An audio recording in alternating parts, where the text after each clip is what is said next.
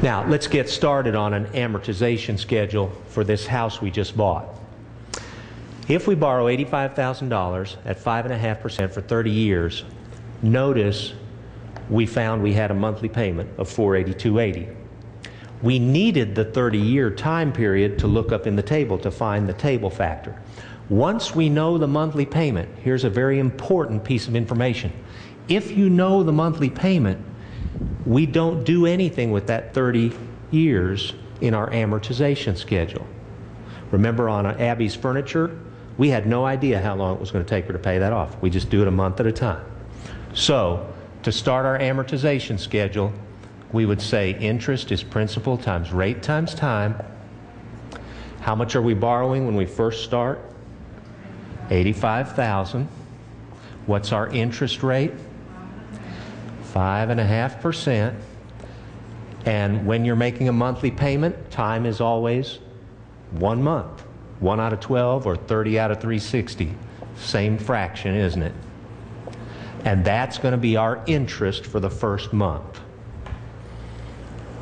And what does that turn out to be? One out of twelve, some thirty, three sixty. I, I would I would just do this, you know. 85,000 times 5.5% divided by 12 equals. That's what I would do because it's less numbers to punch in. So our first month's interest, I get 389.58 to the nearest penny. Does that sound right?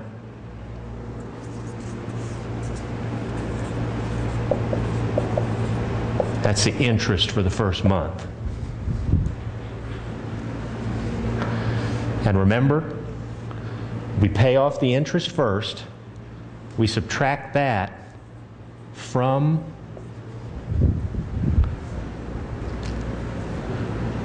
the payment, and that's how much gets to go to reduce our principal.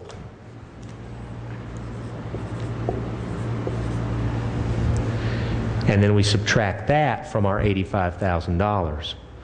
And that's how much we now owe. Our ending balance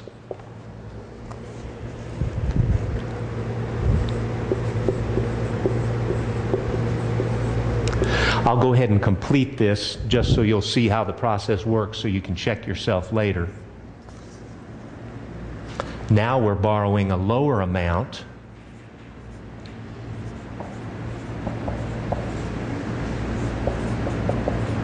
So should our interest be higher, lower, or the same? Should be lower.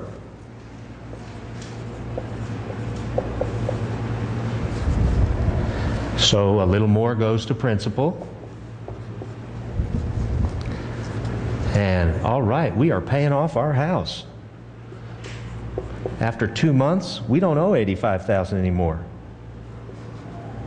We owe 84,813. this is a long process, and it looks really grim at the beginning. In fact, it may take 15 or 17 or 18 years before our principal equals our interest. 10 o'clock. And I'll complete this third row for you.